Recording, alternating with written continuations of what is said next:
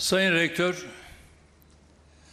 Marmara Üniversitemizin kıymetli mensupları, saygıdeğer hocalarım, sevgili öğrenci kardeşlerim, sizleri en kalbi duygularımla, hürmetle, muhabbetle selamlıyorum.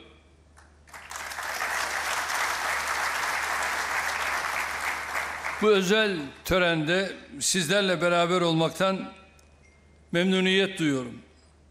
Bugün şahsen ayrı bir heyecan içerisindeyim.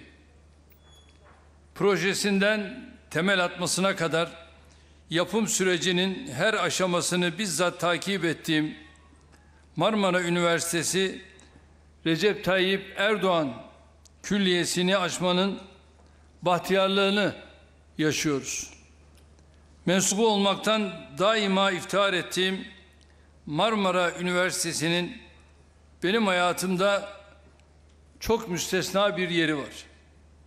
Bundan 43 yıl önce 1981 yılında şimdiki ismiyle üniversitemizin İktisadi ve İdari Bilimler Fakültesinden mezun oldum. Siyasi hayatımız boyunca şahsıma tevcih edilen 60'ı aşkın fahri doktor ünvanlarından en anlamlısını 2013 yılında üniversitemden aldım. Üniversitemizin akademik yıl açılışlarını pek çok kez birlikte yaptık. Başbakan olarak, Cumhurbaşkanı olarak mezun olduğum üniversitenin her meselesiyle yakından ilgilendim. Vefa borcumu ödemeye gayret ettim. Bugünkü açılış törenimizle tüm çabaları adeta taşlandırmış oluyoruz. Burada şu hususu öncelikle ifade etmek arzusundayım. Türkiye'nin en köklü, en seçkin yüksek öğrenim kurumlarından biri olan Marmara Üniversitesi'nin öğrencisi ve mezunu olmaktan gurur duyuyorum.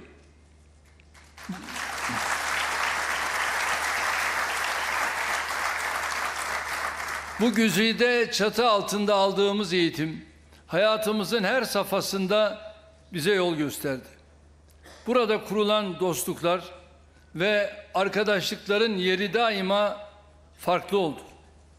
İnşallah bundan sonra da Marmaralı olmaktan gurur duyacağım.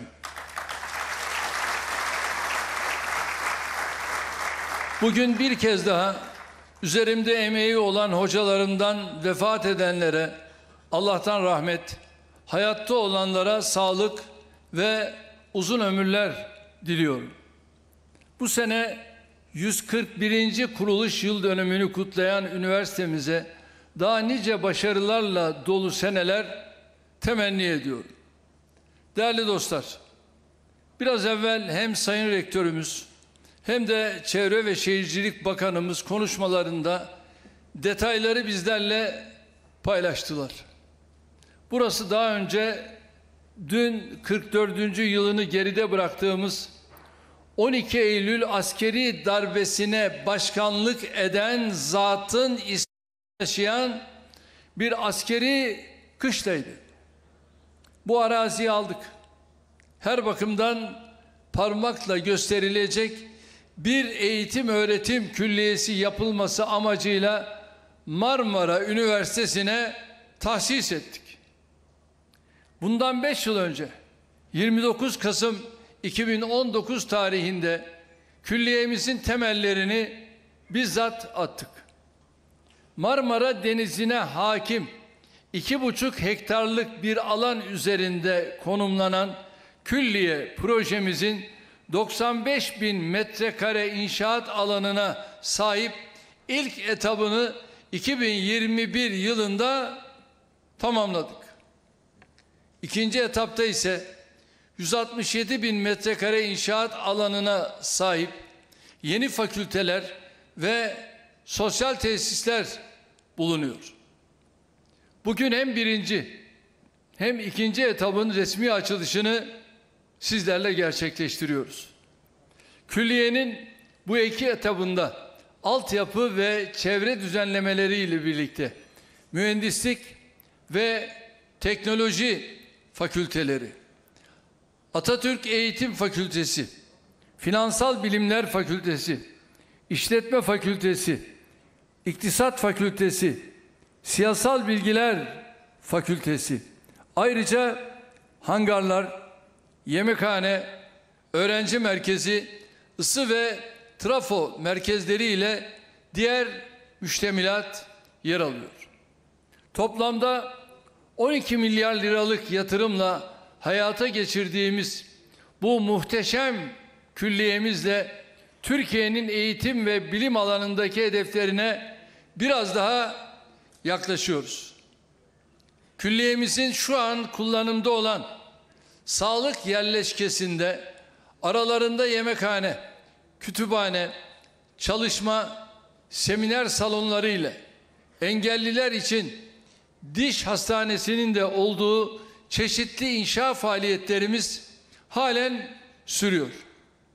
İnşallah bunları da süratle bitirerek hizmete vereceğiz. Sadece bulunduğu bölgenin değil, tüm İstanbul'un çevresini değiştirecek, güzelleştirecek külliyemizin şehrimize, üniversitemize ve öğrencilerimize hayırlı olmasını diliyorum.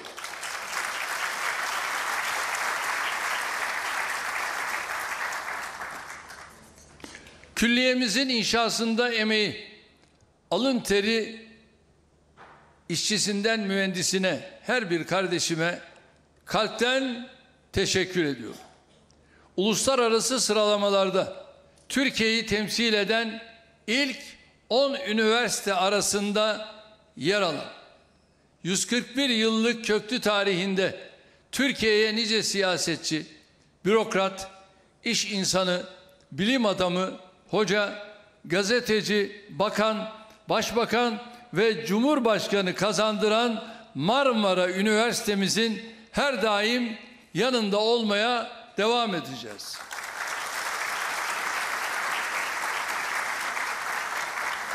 Değerli dostlar, üniversitelerimizin yurt dışına açılmasını şahsen çok değerli buluyorum. Üniversitemizde 136 ülkeden 3500'den fazla uluslararası öğrencinin tam zamanlı olarak okumasından memnuniyet duydum. Üniversite yönetimini bu konudaki gayretleri dolayısıyla tebrik ediyorum.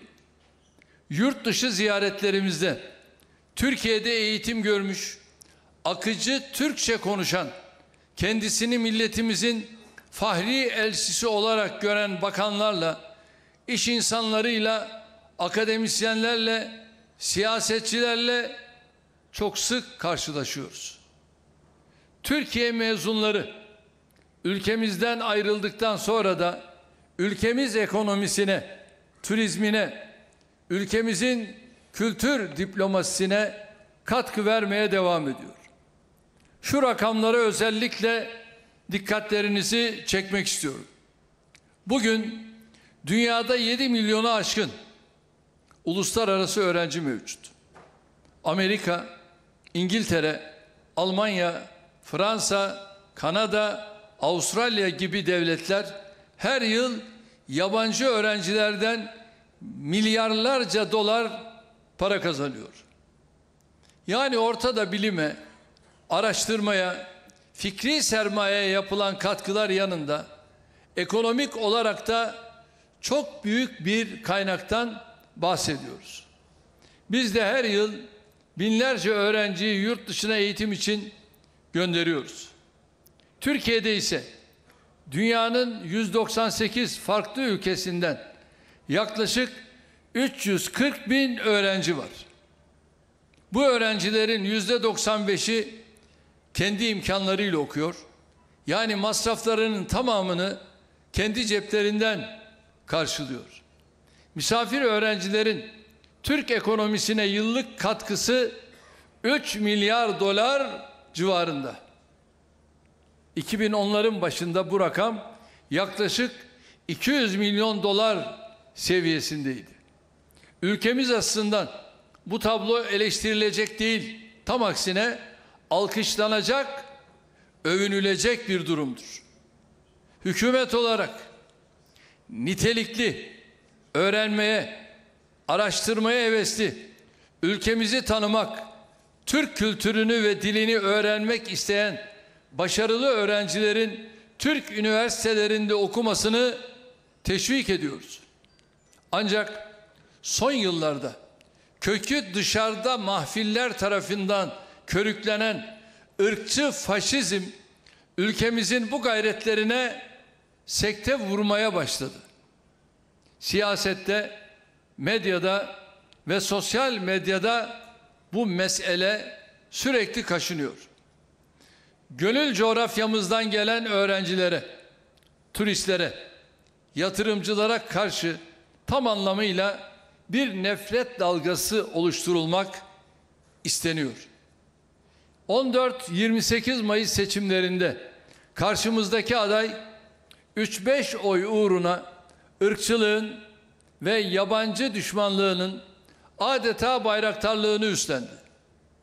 Bırakın sosyal demokrasiyi temel insani değerlerle bile bağdaşması mümkün olmayan faşizan bir dil kullandı. Muhalefet adayının nefret siyaseti karşısında yanındaki yöresindekiler arasında bir vicdan sahibi de çıkıp tek bir cümle kuramadı. İki hafta boyunca köpürtülen nefret siyasetini sessizce seyrettiler. Bir defa şunun bilinmesini isterim. Ülkemizin bin bir emekle inşa ettiği yumuşak gücüne zarar veren bu ırkçı nefretin masum olmadığı açıktır. Türkiye'de ırkçılık adı altında çok açık bir Türk düşmanlığı, Müslüman düşmanlığı, topyekün Türkiye düşmanlığı yapılmaktadır. Bunların bir kısmı özellikle öne çıkan bazı şaibeli isimler apaçık bir ihanet içinde Türk düşmanlarının değirmenine su taşımaktadır. Allah'ın izniyle gençlerimizin bu tuzağa düşmesine fırsat vermeyeceğiz. Bakınız biz ülke ve millet olarak hiçbir zaman insanları derisinin rengine, yaşadığı yere, konuştuğu dile göre ayırt etmedik. Etmeyiz.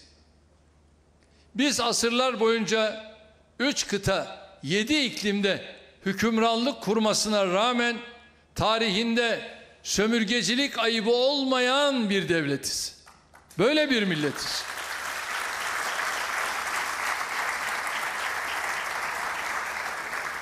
Hiç kimse bu beyaz sayfaya leke bulaştıramaz. Ülkemizin marka eğitim kurumlarından biri olan Marmara Üniversitemizin uluslararası kimliğini güçlendirerek sürdüreceğine inanıyorum.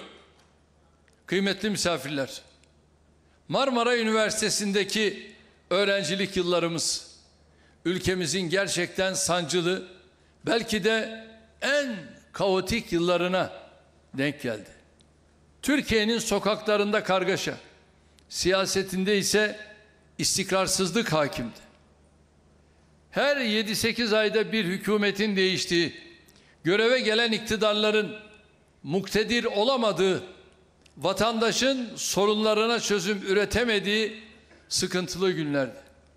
O karanlık günlerin ceremesini milletimizle birlikte en çok üniversitelerimiz çekti. Öğretim üyelerimiz ve öğrencilerimiz çekti. Sadece ekonomik zorluklarla değil, üniversitelerimizi esir alan ideolojik kavgalarla da mücadele ettik.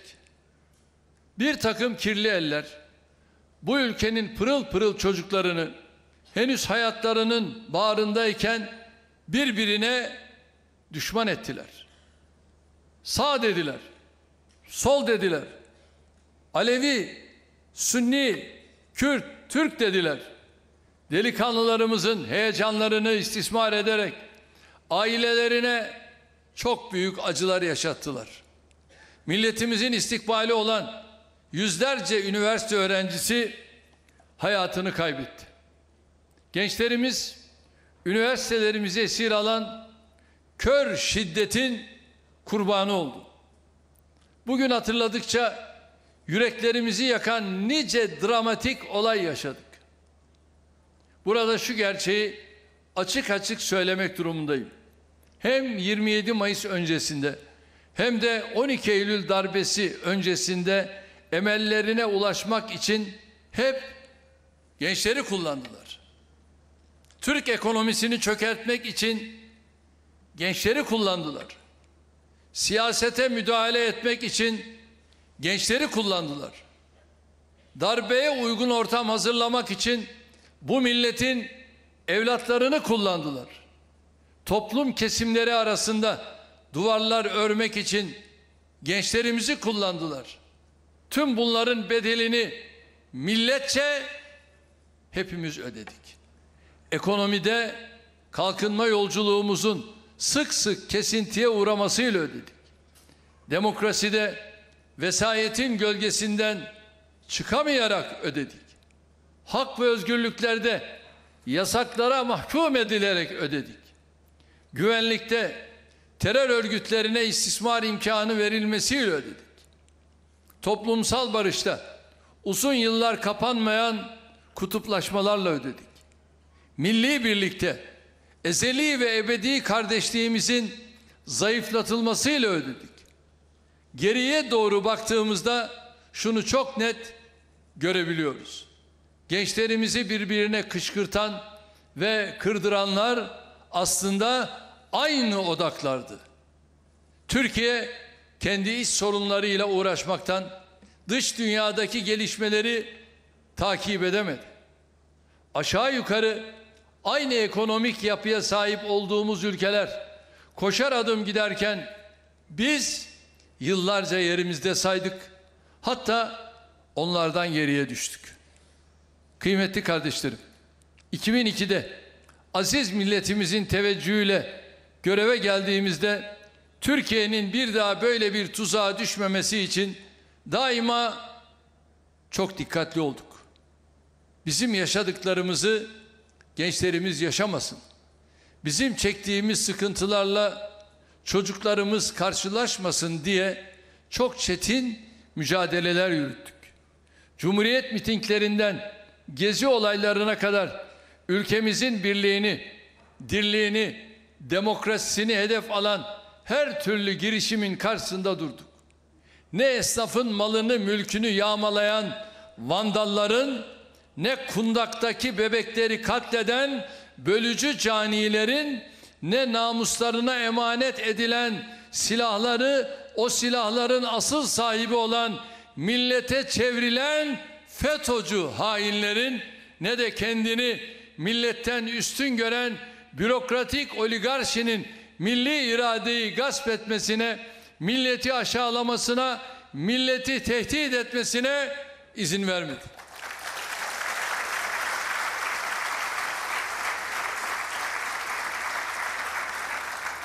Her zaman soğukkanlı olduk. Sağduyulu davrandık. Siyasette nezaketi bir an olsun elden bırakmadık. Ama milletin emaneti ve iradesi tehdit altında olduğunda hiç tereddüt etmeden tüm gücümüzle buna karşı çıktık. Bizim öfkemiz de sevgimiz de hep milletimiz için oldu. Bakınız yeri gelmişken şu hususu tekrar ifade etmek isterim. Birkaç tane ağacın taşınması bahane edilerek başlatılan gezi olaylarının Türkiye'ye doğrudan maliyeti 1,4 milyar dolardır. Dolaylı etkilerini de hesaba dahil ettiğimizde bu rakam ürkütücü seviyelere ulaşıyor.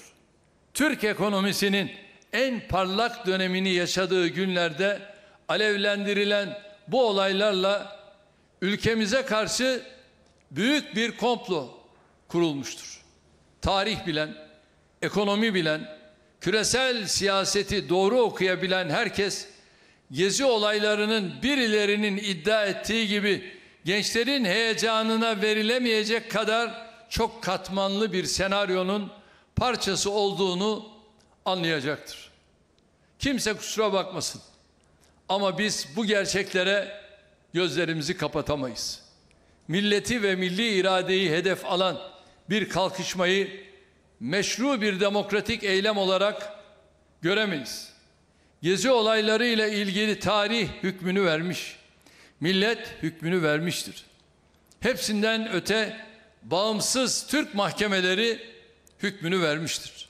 Şimdi bakıyorsunuz birileri çıkıyor, sapla samanı karıştırarak bu meseleyi tekrar gündeme getirmeye çalışıyor.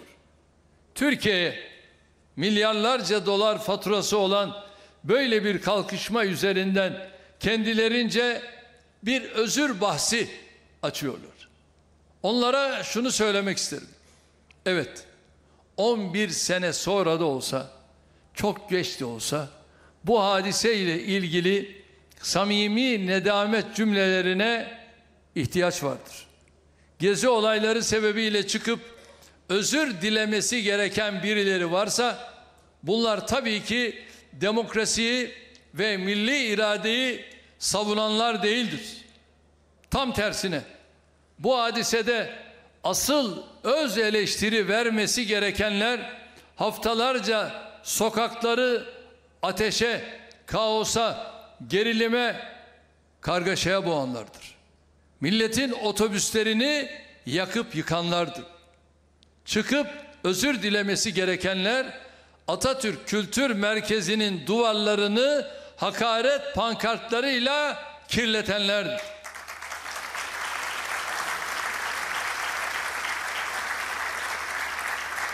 Çıkıp özür dilemesi gerekenler polise saldıranlar, belediye otobüslerini ateşe verenler, esnafın camını çerçevesini indirenlerdir. Çıkıp özür dilemesi gerekenler faizlerin tarihimizin en düşük seviyesine indiği, IMF borcumuzun kapandığı başarılarla dolu bir dönemde Türk ekonomisine milyarlarca dolarlık fatura çıkartanlardır. Bakınız biz siyasetçiyiz. Biz milletin emanetini taşıyan, 85 milyonun mesuliyetini taşıyan insanlarız. Milletin hakkını, hukukunu savunmak, saldırılar karşısında milletin özellikle iradesinin namusunu korumak bizim asli görevimizdir. Hangi partiye oy verirse versin. Vatandaşlarımızı oy tercihlerinden dolayı suçlamaz, iradesini asla sorgulayamaz. Yarım asrı bulan siyasi hayatımız boyunca biz bunu yaptık. İnşallah bundan sonra da bu şekilde hareket etmeyi sürdüreceğiz. Kıymetli hocalarım, Türkiye yüzyılını bilimin, teknolojinin, refahın yüzyılı haline getirmek için gece gündüz çalışıyoruz. Son 22 yılda bu iyi hedef doğrultusunda çok önemli adımlar attık. 2002'de burası çok ama çok önemli. 2002'de 76 üniversitemiz varken bugün bu sayı 208'e yükseldi.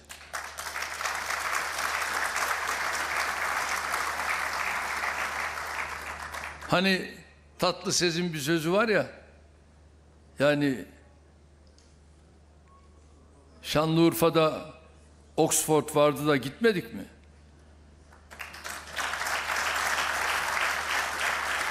Değerli arkadaşlar, şu anda 81 vilayetin 81'inde hamdolsun üniversitelerimiz var.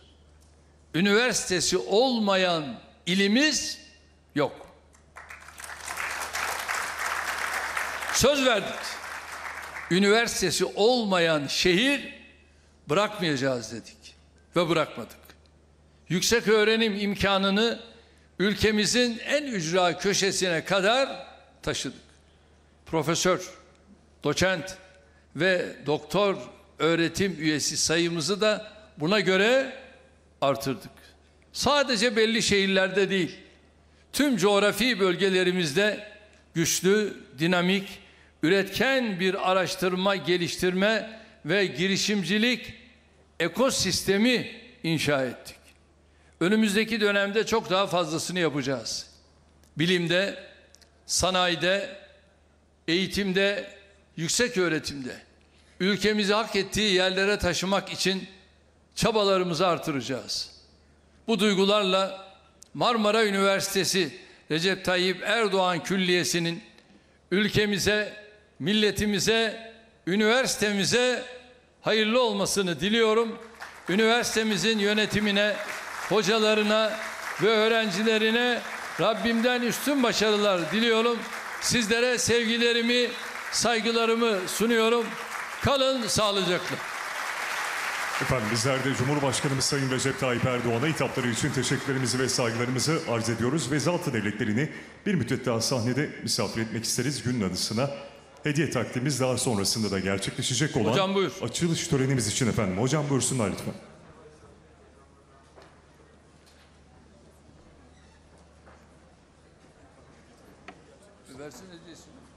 Efendim şimdi hediye takdimi için bir kez daha Marmara Üniversitesi Rektörümüzü huzurlarınıza davet ediyoruz. Alkışlarınızla buyursunlar lütfen. Ve Sayın Rektörümüz şu anda hediyemizi Sayın Cumhurbaşkanımıza arz ediyor. Çok teşekkür ediyoruz.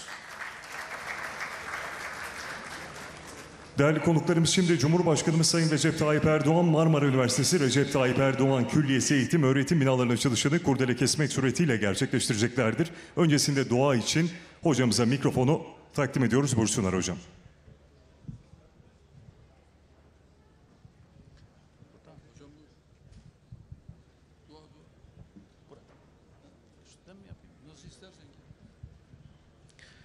Amin. أعوذ بالله من الشيطان الرجيم. بسم الله الرحمن الرحيم.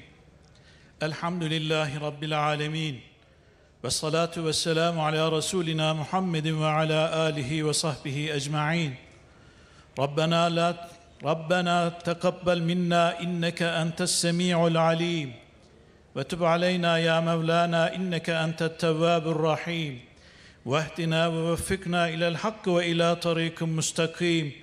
ببركة قرآن العظيم وبحرمة من أرسلته رحمة للعالمين Ya İlahel Alemin, bugün açılışını yapmakta olduğumuz Marmara Üniversitemizin hizmet binalarını hayırlı, mübarek ve müteyemmen eyle ya Rabbi. İlim ve irfan dünyamıza hayırlı hizmetlere mekan eyle ya Rabbi. Ya İlahel Alemin, bu ilim yuvasına hizmet eden, bütün ehli hizmeti sağlık, afiyette daim eyle ya Rabbi. Hocalarımızdan, üzerimizde emeği olanların, rahmeti rahmana göçenlerine rahmet eyle. Mekanlarını cennet eyle. Derecelerini âli, menzillerini mübarek eyle. Gençlerimizin ilim ve irfan ile donatılması için emek sarf eden kıymetli hocalarımıza sağlık, afiyet, hayırlı, uzun ömürler ihsan eyle. Ya Rabbel Alemin, faydasız ilimden, yaşarmayan gözden, ürpermeyen kalpten, doymayan nefisten ve kabul olmayan duadan sana sığırıyoruz. Lütfeyle, dualarımızı kabul eyle ya Rabbi. Ya İlahel Alemin, milletimize birlik, beraberlik ve kardeşlik ihsan eyle. Ülkemize dirlik, düzenlik ihsan eyle. Vatanımız, milletimiz, mukaddesatımız uğrunda fedayı can eden aziz şehitlerimizi rahmetle yad ediyoruz. Mekanlarını cennet eyle, kendilerine rahmet eyle. Gazilerimizin, vatanımız, milletimiz için gece gündüz hizmet veren, emek veren bütün ülkemiz, milletimiz, maneviyatımız ve devletimiz için hizmet veren bütün insanlarımıza sağlık, afiyet diliyoruz. Lütfeyle, kerem eyle ya Rabbi. Ve sallallahu ala seyyidina ve ala alihi ve sahbihi ve sellim. Sübhane rabbike rabbil izzeti amma yasifun ve selamun alel murselin velhamdülillahi rabbil alemin. تقبل منا واشف مرضانا وارحم موتانا واستر عيوبنا بسر سورة الفاتحة.